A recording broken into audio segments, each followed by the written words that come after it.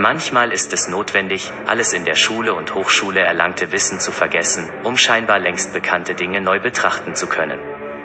Jeder Mensch kommt wahrscheinlich irgendwann im Laufe seines Lebens an den Punkt, an dem er erkennt, dass sein Leben eine Art Kreislauf zu sein scheint, und man rückblickend feststellen muss, dass man sehr viel Lebensenergie für offensichtlich sinnlose Dinge verschwendet hat. An diesem Punkt hat man die entscheidende Möglichkeit, seine bisherigen Denk- und Betrachtungsweisen über Bord zu werfen und eine andere Perspektive auszuprobieren. Es ist der Punkt, an dem man die Chance hat, all seinen Mut zusammenzunehmen, um der Tatsache ins Auge zu blicken, dass vielleicht einige der scheinbar unverrückbaren Tatsachen, von denen man ausgegangen ist, einfach nicht stimmen. Dass wir entweder im Irrtum waren oder einer bewusst inszenierten Täuschung aufgesessen sind. Es ist einer der schwersten Schritte überhaupt, sich diese Tatsache selbst einzugestehen. Doch zu unserer Verteidigung muss man sagen, dass uns allen ganz gezielt und über einen sehr langen Zeitraum eingeimpft wurde, dass standhafte Zinnsoldaten, die sich bis zuletzt an ihre anerzogenen Wahrheiten halten, mehr gelten, als jemand, der seine Überzeugungen einfach über Bord wirft, um neue Wege zu gehen. Es bedarf großen Mut und auch Ausdauer, sich auf dem Weg zu machen, um die Wahrheit zu finden. Doch jeder Weg beginnt mit dem ersten Schritt. Daher lasst uns heute über eine Sammlung von Gemälden aus dem 18. Anfang 19. Jahrhundert ein wenig nachsinnen. Hier sind einige leuchtende Gemälde verschiedener Künstler, die nicht nur derselben Epoche angehören, sondern auch inhaltlich verbunden sind.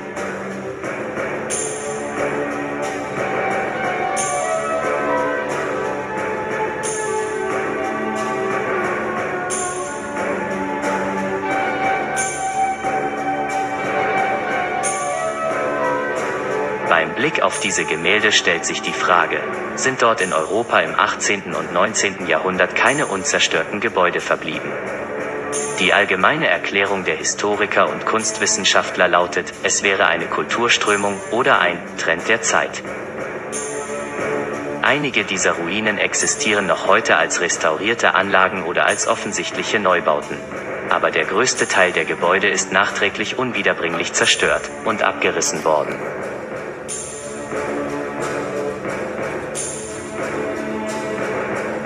All diese Gemälde vereint die Tatsache, dass die Künstler die Wirklichkeit fotografisch genau abgebildet hatten, ohne darüber nachzudenken, wie ihre Nachfahren diese Werke interpretieren werden.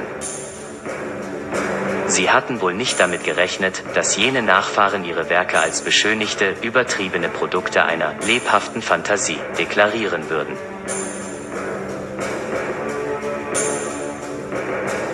So schreiben moderne Lexika und Handbücher über die ruinistische Malerei. Diese Fantasie, deren Hauptmotive Parks und manchmal reale, aber doch meistens ausgedachte imposante Ruinen sind, von denen eine Vielzahl aus Skizzen während eines Aufenthaltes in Italien stammen. Die Wahrheit ist wohl eher, dass die Künstler einfach die sie damals umgebende Welt dokumentiert haben, so wie sie wirklich war. Wir sehen auf den Bildern, dass es wohl im 19. Jahrhundert, also nach historischen Maßstäben erst gestern eine bäuerliche Zivilisation gegeben hat, die offensichtlich von einer kleinen Gruppe Menschen gelenkt wurde, deren Kleidung sichtlich etwas teurer anmutete, und die auf den Ruinen riesiger megalithischer Anlagen lebten, welche sie wohl ganz offensichtlich nicht selbst erbaut hatten.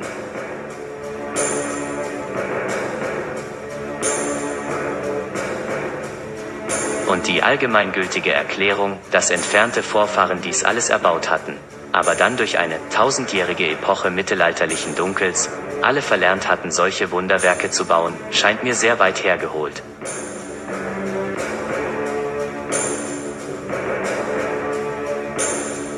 Man hatte offensichtlich auch vergessen, welchen ursprünglichen Sinn und Zweck die Pyramiden einst hatten. Deswegen sprach ja auch nichts dagegen, diese Überbleibsel eines scheinbar übersteigerten Totenkultes abzubauen und deren Bestandteile für praktischere Zwecke zu nutzen. Nur seltsam, dass auf einem Gemälde eine Stele aus Ägypten zu sehen ist, die laut offizieller Version erst im 19. Jahrhundert dorthin gebracht wurde. Darf ich an dieser Stelle den Ägyptologen und Kunstwissenschaftlern eine einfache Frage stellen? Wie konnte ein Maler mit Namen Giovanni Paolo Panini, eine angeblich nur ausgedachte Pyramide, und eine römische Stele darstellen, wenn er sieben Jahre vor der offiziellen Entdeckung der ägyptischen Pyramiden und jener Stele bereits verstorben war. Es sind hier Pyramiden mit ungewöhnlichen Proportionen abgebildet. Das Verhältnis der Basis zu ihrer Höhe ist ein völlig anderes als bei allen bekannten Pyramiden. Egal ob ägyptische, amerikanische, chinesische oder europäische. Es sind ganz offensichtlich keine Grabgewölbe, und ich bezweifle, dass darin überhaupt irgendwelche Hohlräume vorhanden sind. Wozu dienten sie wirklich? Was sonst noch auffällig ist, sind die extrem hohen Decken und Durchgänge. Sie sind bautechnisch extrem aufwendig, arbeitsintensiv und vom Standpunkt des Nutzers her sinnlos und verschwenderisch.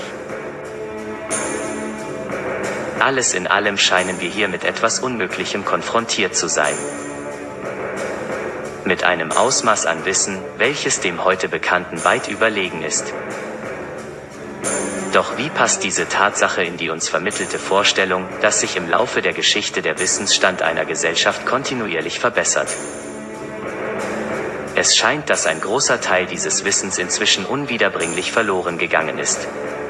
Wir haben zwar Erinnerungsreste von technologischen Prozessen, doch deren ursprüngliches Wesen haben wir vergessen.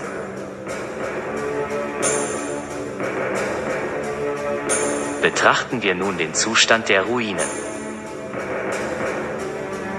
Es sind keinerlei Spuren von Bombardierungen zu sehen. Die Spuren der Zerstörung scheinen eher natürlichen Ursprungs zu sein. Einige Bauwerke scheinen zum Teil von Erdbeben zerstört worden zu sein. Manche noch funktionierende Anlagen stehen neben anderen, die sehr starke Erosion aufweisen, was von einem hohen Alter der Bauten zeugt. Die Frage nach deren tatsächlichem Alter ist eine der Kernfragen. Die Erfindung der Fotografie ermöglicht es uns zumindest, die Veränderungen zu verfolgen, die in den letzten 100 Jahren an einem Objekt vor sich gehen.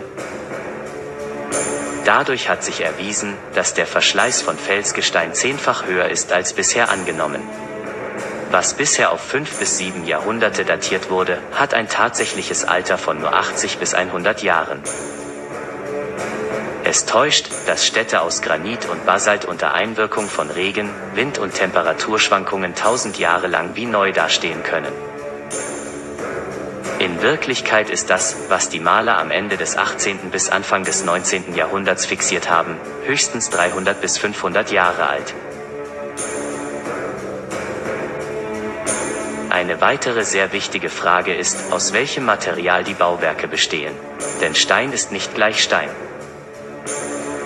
Zu sehen ist hier oftmals Travertin, eine regionale Abwandlung von einfachem Kalkstein. Es spricht daher vieles dafür, dass diese Schönheiten nur etwa 100 Jahre zuvor erbaut wurden, bevor sie malerisch fotografiert wurden. Auch ist es nachvollziehbar, dass ein Großteil der Ruinen von den ortsansässigen Bewohnern als Baumaterial für Ställe und Schuppen verwendet wurde. Es deutet vieles darauf hin, dass sich um das Jahr 1700 herum eine riesige Katastrophe ereignet haben muss. Das ist kein Zufall, denn das Jahr 1700 ist grundsätzlich ein sehr rätselhaftes. Genau am Übergang vom 17. ins 18. Jahrhundert geschah auf der Erde etwas Globales, das alle Lebensbereiche betroffen hat. Es geschah ein technologischer Sprung. Dieser Schub in der Entwicklung hat sich in allen Bereichen menschlicher Tätigkeit bemerkbar gemacht. Darunter auch in der Malerei, dank derer wir jetzt hier über diese Frage nachdenken können. So hat das Auftauchen der Camera Obscura die Entstehung dieser Werke erst möglich gemacht, indem fotografisch genaue Abbilder fixiert werden konnten. Auch der heutige moderne Kalender wurde zu dieser Zeit eingeführt. Bis dahin war es das Jahr 7208 seit der Erschaffung der Welt. Vielleicht können wir Antworten auf diese wichtigsten Fragen der Menschheit bekommen. Vielleicht können uns diese Gemälde wichtige Hinweise darauf liefern, was in den letzten Jahrhunderten wirklich geschehen ist. Wie konnten wir den Zugang zu diesem fortgeschrittenen Wissen verlieren? Das sind die Fragen, die uns die Bilder der Ruinen zuflüstern.